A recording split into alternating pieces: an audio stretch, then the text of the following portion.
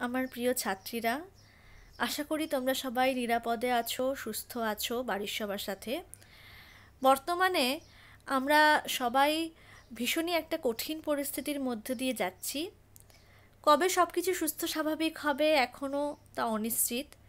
তবু এই অনিশ্চয়তা, এই অস্থিরতার মধ্যেও আমাদের পড়াশুনোর কাজটাও এগিয়ে নিয়ে যেতেই হবে, কিছু করার নেই। তাই আজকে আমার এই ভিডিও। আমাদের আমার যারা সেমিস্টার ফোরের স্টুডেন্টরা রয়েছ, তাদের সিসি টেনে সংস্কৃত ওয়ার্ল্ড লিটারেচার আছে। সেখানে সেকশন এতে সংস্কৃত স্টাডিজ ইন ওয়েস্ট বলে একটি টপিক রয়েছে। তার মেটেরিয়ালস তোমরা আগেই সবাই পেয়ে গেছিলে। সেখান থেকেই একটা ছোট্ট অংশ আমি আজকে আলোচনা করছি। আজকে আমি যার সম্পর্কে বলব, তিনি হলেন চার্লস উইলকিন্স। এই চার্লস উইলকিন্স সতেরোশো উনপঞ্চাশ সালে ইংল্যান্ডে জন্মগ্রহণ করেন। তিনি ছিলেন একজন লেখক, একজন ওরিয়েন্টালিস্ট এবং এশিয়াটিক সোসাইটির প্রতিষ্ঠাতাদের মধ্যে অন্যতম একজন। তো তিনি সতেরোশো সত্তর সালে ব্রিটিশ ইস্ট ইন্ডিয়া কোম্পানির হাত ধরে ভারতবর্ষে আসেন একজন মুদ্রাকর, একজন লেখক হিসেবে। তিনি, তার একটা বড় গুণ ছিল, সেটা হচ্ছে তিনি খুব সহজেই কিন্তু ভাষা শিখে নিতে পারতেন। খুব সহজেই নতুন নতুন ভাষা রপ্ত করতে পারতেন। তো ভারতবর্ষে এসেও তিনি বাংলা ভাষাকে খুব সহজে শিখে নিতে পেরেছিলেন এবং পরবর্তীতে বাংলা ভাষার মুদ্রণের জন্য কিন্তু তিনি বহু প্রচেষ্টা করে গেছেন। সে সময় তিনি একটি টাইপস বলে একটি বই প্রকাশ করেন এবং যার জন্য তিনি ক্যাক্সটন উপাধিতে ভূষিতও হয়েছিলেন।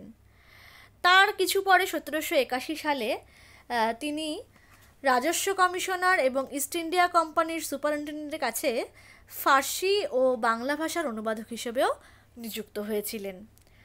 এরপর একটা সময় তিনি বারাণসীতে চলে যান এবং সেখানে গিয়ে ব্রাহ্মণ পণ্ডিত কালীনাথের কাছে সংস্কৃত অধ্যয়ন শুরু করেন। সে সময় তিনি মহাভারতের অনুবাদের কাজও শুরু করেছিলেন এবং তার জন্য তিনি প্রচুর সমর্থন পেয়েছিলেন ওয়ারেন হেস্টিংসের কাছ থেকে। ওয়ারেন হেস্টিংসের নামও তোমরা শুনেছ ইতিহাসে। তো তার কাছ থেকে তিনি সমর্থন পেয়েছিলেন। এবার মহাভারতের অনুবাদের কাজ তার মুখের কথা নয়, একটা বিশাল ব্যাপার। তো তার পক্ষেও কিন্তু পুরো মহাভারত অনুবাদ করে যাওয়া সম্ভব হয়নি। তবে তিনি যেটা করতে পেরেছিলেন যেটা একটা বড় কাজ, সেটা হলো সতেরোশো পঁচাশি সালে তিনি শ্রীমদ্ ভগবদ্ গীতা পুরোটা ইংরেজিতে অনুবাদ করে ফেললেন। তার ফলে যেটা হলো, যে বিশ্বের দরবারে কিন্তু খুব সহজেই শ্রীমদ্ ভগবদ্গীতা পৌঁছে গেল। এবং শ্রীমদ্ ভগবদ্গীতা পৌঁছে যাওয়া মানেই কিন্তু ভারতীয় দর্শনের একটা দ্বার উন্মুক্ত হয়ে যাওয়া পাশ্চাত্যের কাছে। এবং সে সময় ভারতীয় দর্শনের কিন্তু একটা প্রভাব ইউরোপে গিয়েও পড়ল। তার যেই বই, সেটা পরবর্তীতে ফরাসিতে, জার্মান ভাষাতেও অনুবাদ হয়েছে। এটা তার সবথেকে বড় একটা কৃতিত্বের জায়গা। তবে শুধু যে হিন্দু শাস্ত্র তিনি চর্চা করেছেন তা কিন্তু নয়। তিনি ইসলাম ধর্ম নিয়ে চর্চা করেছেন, তিনি শিখদের ধর্ম নিয়ে চর্চা করেছেন। কারণ জানা যায় যে তিনি পাটনাতে গুরু গোবিন্দ সিংজির যে জন্মস্থান যে গুরুদ্বারা সেখানে রয়েছে, সেখানে কিন্তু তিনি গিয়েছিলেন। অর্থাৎ সব ধর্ম সম্পর্কে জানার জন্য কিন্তু তার মধ্যে একটা অদ্ভুত আগ্রহ ছিল।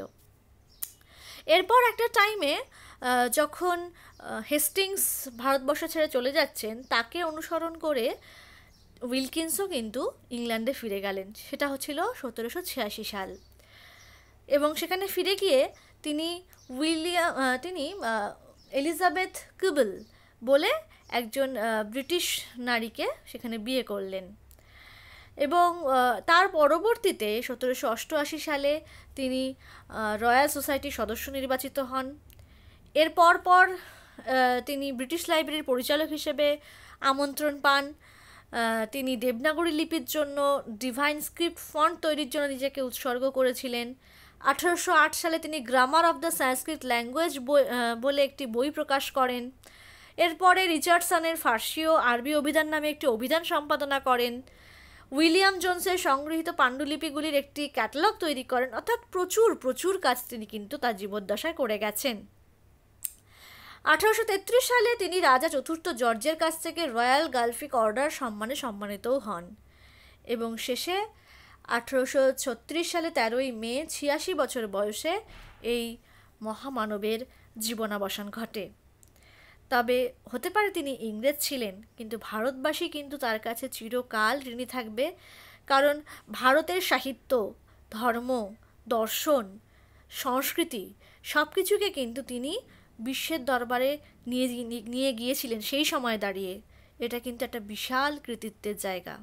তার জন্য আমরা সবসময় তাকে স্মরণ করব। আজ এটুকুই। পরবর্তীতে নিশ্চয়ই আরও আলোচনা চলবে। ততদিন তোমরা সবাই সুস্থ থাকবে ভালো থাকবে বাড়িতে থাকবে।